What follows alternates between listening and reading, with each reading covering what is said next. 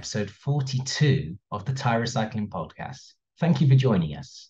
Before we get stuck into what you're here for, i.e., the podcast, I want to see if you can help us. As of today, around 12% of our viewers on this channel are subscribers. That probably comes as quite a surprise and will probably appear quite low. But our goal is to raise it up to 50%. And to do that, we need your help.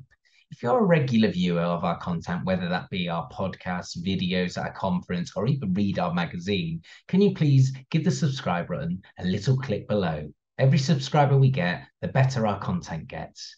Anyway, on with the show.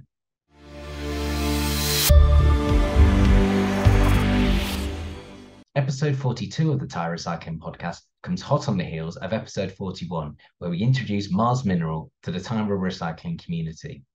Now it's the time to introduce another player to the tire rubber recycling community in the form of Rubber Matters. So today we're traveling to India where we get to know the director of Rubber Matters, Mayur Bubna. Rubber Matters produces reclaimed rubber, crumb rubber, rubber powder, and steel from ELTs, and we are excited to talk to them. Anyway, now it's time for me to stop talking and to pass over to Ewan Scott, our editor, who has his interview with Mayur right now.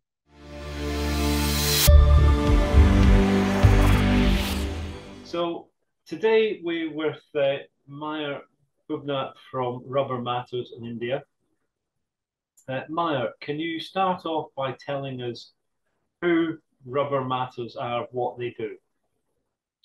So even uh, we are a fairly new company. Uh, you know, we just started two years back, and with a focus on rubber recycling, uh, which is why the name that Rubber Matters because it's not only we are looking at recycling, but we are also looking at upcycling that how to further use the recycled products uh, in mainstream uh, rubber industry. Uh, so currently we are doing devulcanization of rubber. We are doing rubber granules and we are doing rubber crumbs. And uh, so being a new player, you know, we have our USPs uh, uh, and we have our other things which goes for us um, yeah, that's what that's what we are. Okay, so let's focus on the uh, the devulcanized sector at the moment. Uh, India is uh, has, has many players in the the reclaim field, um, and, and that I think causes uh, the, the, the terminology between reclaim and devulcanization creates a little bit of confusion in the market. It certainly did for me because mm-hmm. reclaim in Europe has um, connotations of dirty plants, chemical plants, um, and, and it's, it's virtually been eradicated in, in Europe. I think right. uh, the only players here now are um, LG and uh, Tyromer, Tyromer uh, mm-hmm. operating Devulk systems correct correct. So even uh, you know uh, the word reclaim you know has been there for almost 40 years you know before we started right? The idea you know we may call it anything. We may call it reclaim you know we may call it devulcanized rubber or i believe uh, what tyromer calls is a tire derived uh, polymer or tdp if i'm not mistaken right? So we can have n number of uh, uh ways of calling the product correct and uh, but it's still a rubber devulcanized product. Devulcanization is the correct word. I believe that gives you a right picture of the product. In terms of you know uh, the industry, yes. So 40 years back, I would agree with you. Uh, uh, you know, it's a it's a very low margin product. So there are things that when a low margin industry is there, so you don't have enough uh, bandwidth to you know have that kind of a setup but today, like for example, if you visit us, right? If you visit us, uh, we are that you won't even feel you're in a rubber industry for that matter. So things have changed a lot. You know, we have got automation coming in. We've got uh, Industry 4.0 coming in this industry. So I believe that we are evolving. Yes, but if you say in terms of the word or the name that we need to call it, for me, I really it doesn't really matter it doesn't really matter if if my client wants me to call it devulcanized rubber i'll go ahead and call it devulcanized rubber if he wants to call it reclaimed rubber i'll go ahead and call it reclaimed rubber the what matters is the actual product. It's still a polymer which is recycled from tire and which is going to go back into the tire. Okay. Now, the, the process that you use, um, Mhm. I, I, I understand there are a number of, of, ways of devulcanizing. I, I think in, in Europe the and in America, the, the commonest process involves injecting carbon dioxide into Mhm. uh, an extruder. Is, is that the sort of process that you use? Uh, no, so actually we, we use a process called uh, uh, autoclave process. So in fact, uh, we are avoiding any sort of uh, inert air inside the process. Uh, so this process has its own uh, pros. So for example, the advantage of this process is I can make my devulcanized rubber with a very low Mooney you know a, a, lot of tire companies in india and abroad they're asking for you know uh, a Mooney level of 20 and 30 uh, which in some other processes like a twin screw extruder or, or a or a company like Levgum, uh, I think they are Israeli based company which are doing through chemical uh, thing which is not possible in their case correct?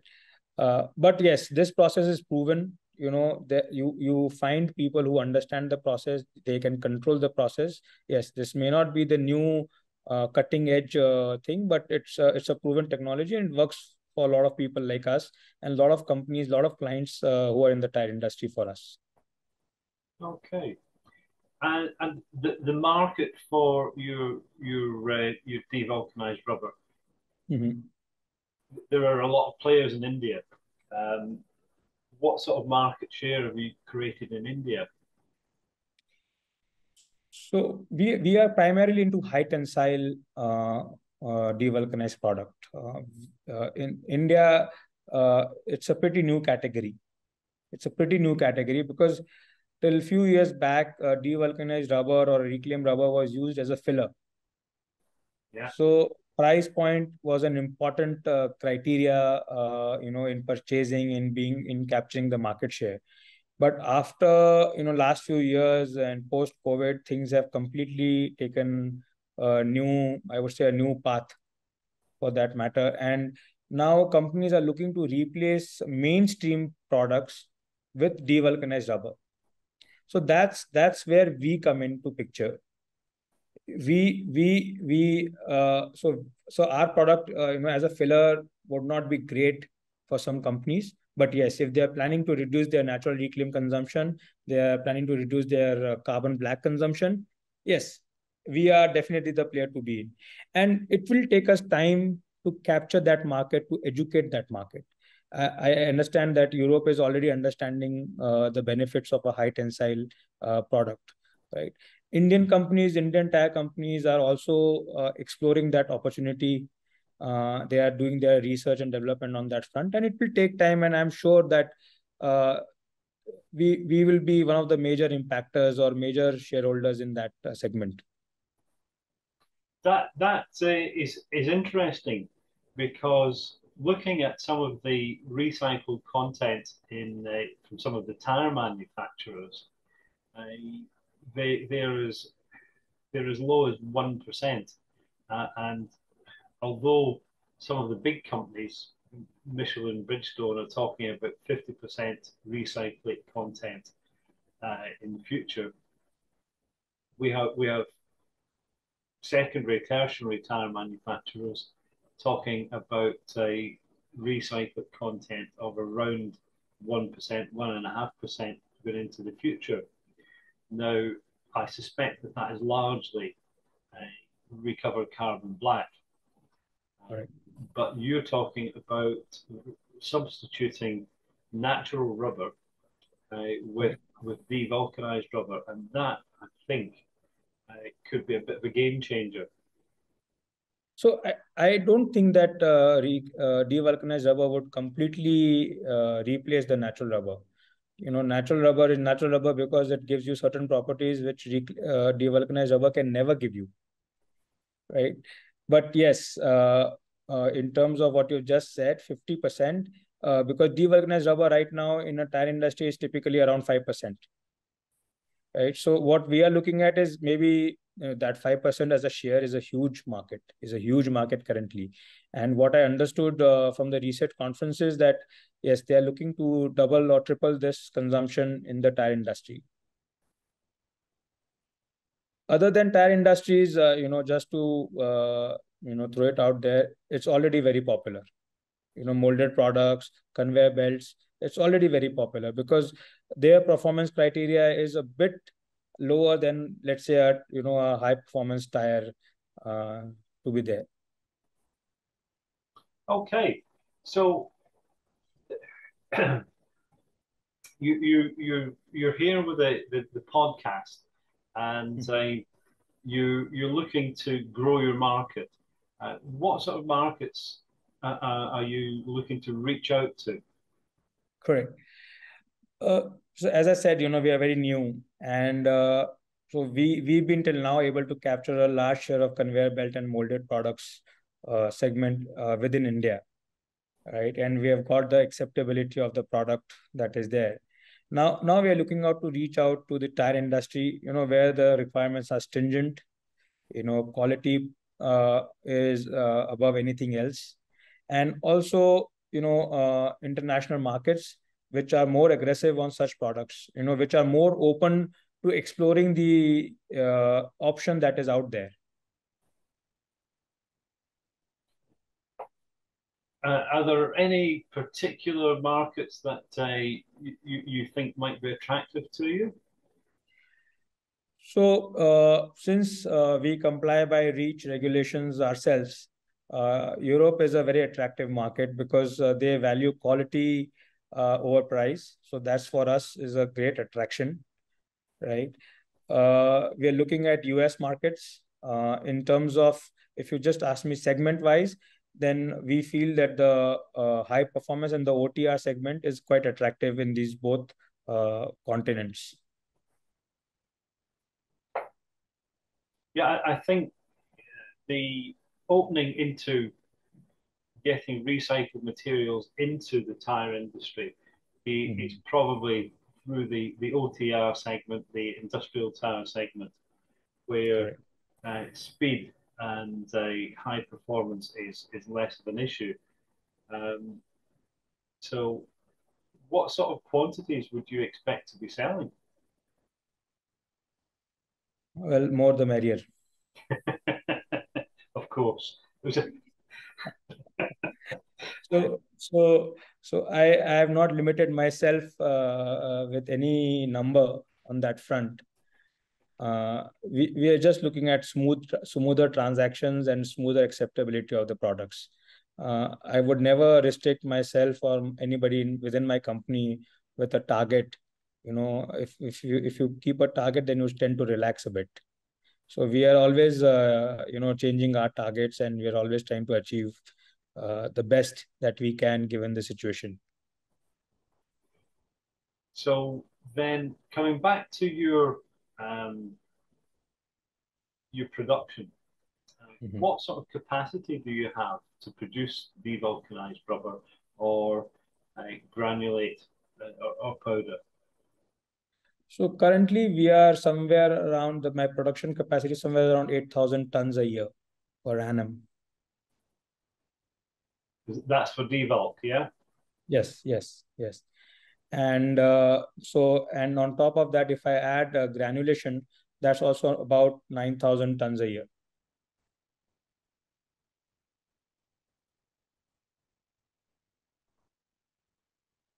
Okay, so you you're still in the the early days of developing the company. Uh, Correct. Uh, my understanding is that you you appear to have set out um, higher standards, perhaps, than some players, and yes. that you you're you're aiming for um, acceptance in the wider market. I'm I'm trying to be careful here. Uh, so when we when we set out in establishing rubber matters you know the question was you know where do we want to place ourselves? You know there are uh, in in the recycling industry for that matter you know uh, there are so many ways you can uh, contribute to the industry. So we we decided that we we want to be a player where we respect our own product what we are selling right? And there is there is a there is a sort of a you know a testing methodology in terms of what quality we are providing to the client correct? At the same time you know you you always respect your product regardless of what you make. But the appreciation of the client is very important. You know i don't want any client to come to me you know just because uh, i'm economical for him. I want him to come to me because my product makes a difference to his product so this is this is uh, this is where we set out to do. And uh, you know the promoters including me we have no background in rubber industry. We are not from the rubber industry. This is our first venture in the rubber industry to be there. So to set these goals you know uh, and uh, a bar so high was is quite difficult uh, to be frank. But yes uh, it's not that it's not achievable we are getting there we are seeing the appreciation from the client we are seeing the repeated uh, orders that clients are giving us so we it looks like we're on the right track. It's only that the speed that is it's only the momentum that now needs to be there. Is there anything else that you would like to add to the the story of Rubber Matters? Yeah, sure. I'm. I mean, uh, you know, we are young. Uh, you know, we are still there, and we are still learning. You know, uh, the important matter, the important fact for us is uh, we are very keen to learn. Uh, we are not resting on our laurels. We are not resting. We don't have any history of the industry right? So we we we appreciate if you know if somebody is uh, guiding us you know to improve our products or to you know in any way. In you know knowledge uh, uh, is out there and we're looking for uh, people who can help us to do that. Because uh, we are more than a devulcanized rubber manufacturer. We are more than a, a rubber recycler. We want to be more than that right? And that's the, the the whole ideology of what we want to be is in the name. That it we want to make a difference in the industry. Right. You, you want to make rubber matter? Yes. I want to definitely make it matters you know to people around there if, if there's anything that you want to add then then please do uh, so uh, uh, there, there was this uh, concern, uh, you know, that we had shared in our uh, pre-interview, which you have also brought it up, is the name. You know how we call the product, right? And I and I I've been battling with that myself, and I'm trying to make it very clear that you know a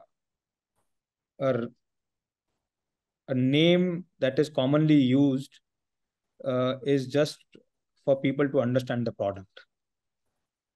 Right? I, I can i can uh, go ahead and call a fruit with its scientific name but uh, would it help me uh, sell the product right? If i if i come back to you and uh, i tell you that i'm trying to sell uh, moringa oleifera you would be first shocked to understand what the product is actually. And we are seeing that this kind of deviation from the name is is to generate uh, uh what can i say? Is to generate certain attraction. Mm-hmm. generate certain attraction to the product.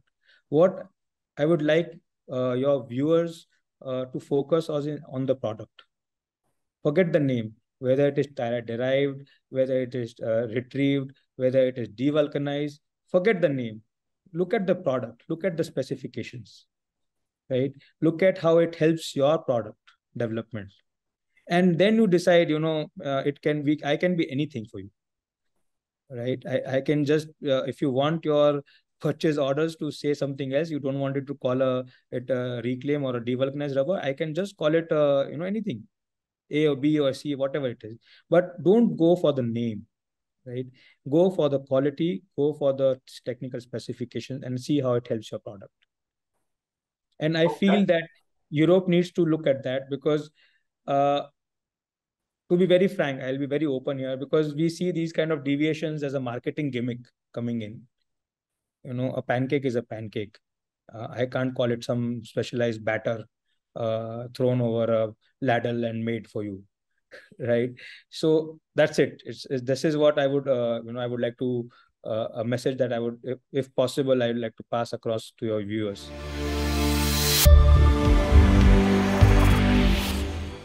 So there you have it. That's it for episode 42 of the Tire Recycling Podcast. Thanks to Ewan, and Mayur for that for making that interview happen. Now, before we go, don't forget to like the video and subscribe to get more time rubber recycling content. And just to stay tuned for episode 43 of the Tire Recycling Podcast coming to you very soon. Until next time, thank you for watching.